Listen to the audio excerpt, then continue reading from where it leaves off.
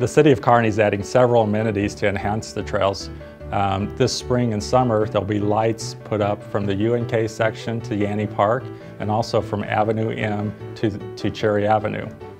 Uh, this will improve the safety and allow people to utilize the trails in the evening. We've also added two water stations along the trail systems um, by 30th Avenue and also Yanney Park. We're, we're, adding two more this spring, one up by Meadowlark Elementary School off 56th, another one at the Archway, and a third one by 2nd Avenue. A new addition to the trail systems are uh, wayfinding signage.